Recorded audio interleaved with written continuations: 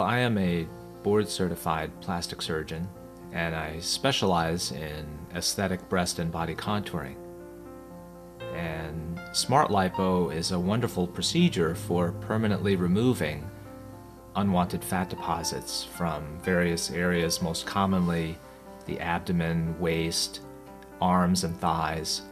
Usually, when people come in for body contouring procedures, I meet with them first and talk about what areas are concerning them and which areas they would like to improve on. And I talk about the different procedures that we have available and which procedures they may be a candidate for. I try to put them at ease and help them relax as much as possible because it's normal to be a little nervous when they first come to see the plastic surgeon. And I always encourage them to come back to see me for more than one visit if necessary so that they're comfortable with the procedures they're having and comfortable with me performing them. I had saddlebags for many years and I tried exercising and nothing would take the saddlebags away. I was concerned about when I was going to be able to get back to work and uh, that wasn't a problem at all. I was back to work in two days. Smart Lipo differs from conventional liposuction in the way that it's using a very tiny laser fiber to not only remove the fat but also tighten the skin at the same time.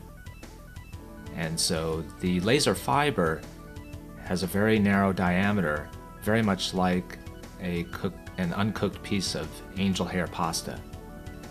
And as a result, the incisions are smaller than conventional liposuction. There's minimal bruising and swelling, and the recovery time is much shorter. Most people return to their normal activities in about two or three days. People ask me, Have you lost weight? I say, No. They insist, Have you lost weight? No. And then finally, I just cave in and I tell them I had smart lipo because they insist how great I look. So I, I love it.